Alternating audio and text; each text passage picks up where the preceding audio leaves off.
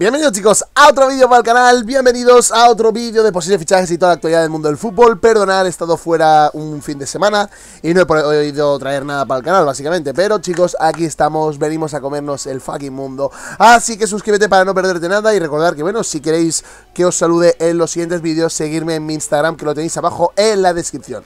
Dicho esto, Empezamos chicos con la noticia del PSG Que ya está empezando con su lista de Navidad, digamos así Ya la tiene preparada para este mercado de verano Que será sin ir Que empieza duro yendo con Pizzini Básicamente jugador, ya sabéis, del Valencia El cual lateral ha hecho muy buena temporada. Pues ya os digo, está en uno de los objetivos para, pues básicamente...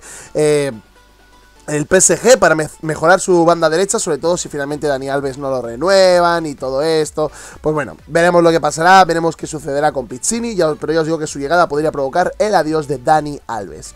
Y hablando de un jugador el cual no está, la verdad, que encajando nada esta temporada, está teniendo bastantes problemas, incluso el otro día le expulsaron contra el Fútbol Club Barcelona. Sí, estamos hablando de Diego Costa, el cual, chicos, podría estar en venta. Es uno de los jugadores que, tras volver del Chelsea, no ha acabado de encajar, no ha acabado de ser el mismo Diego Costa que en su día, pues eh, básicamente eh, se fue primero al Chelsea y regresó. Cuando regresó ya no era el mismo. Cuestión. Que esto ha provocado de que el Atlético se esté planteando volverlo a vender, pero ya os digo que esta vez no van a sacar ni de broma lo que les costó recuperarlo. Pero bueno, aquí el Atlético ya se verá y decidirá qué hacer. Pero seguimos con la noticia, chicos, de Pogba y el Madrid.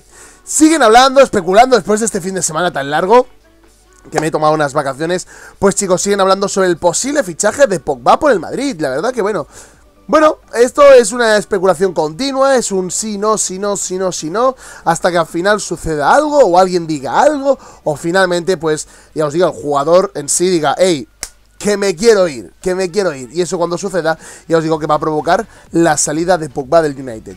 El United en sí ya sabéis que en su día puso precio, dijo 120, no, 180 millones de euros, que el Madrid si los quiere, pues deberá afrontar el pago.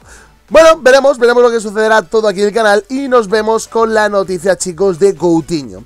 El cual ya sabéis que equipos como el Liverpool y el United en teoría lo quieren, quieren o al menos recuperarlo o traerlo de nuevo para la Premier. Pero chicos, Coutinho habló después del partido entre el Atlético Madrid sobre su futuro y demás, sobre todo a una televisión em, inglesa. Y básicamente eh, dijo que no, que no tiene pensado ahora mismo volver a, a Inglaterra. Y es lógico, es normal, está con Messi, está con Suárez, con sus amigos. ¿Qué quieres? ¿Qué se va a mover? Pero si no rindes Coutinho, vete a tomar por culo, que es lo que va a pasar actualmente, que se tiene que ir del Barça. Él quiera o no, el Barça tiene que abrirle la puerta y decirle, tío, muchas gracias por lo que has hecho, que ha sido casi nada, que sí, la primera temporada no lo hizo nada mal, pero chico, ya te han calado, ya saben cómo defenderte, fuera. Es así, el Barça lo que tiene que hacer ahora es venderlo, recuperar el máximo dinero que pueda y traer otros jugadores. Es simple y fácil. Espero que os haya gustado mucho el vídeo, chicos. Dale like, estamos de vuelta, tranquilos, más vídeos diarios, ya veréis. Así que suscríbete para no perderte nada. Dicho esto, espero que os haya gustado el vídeo. Dale like, suscríbete, activa la campanita y nos vemos en el siguiente vídeo, chicos. Adiós.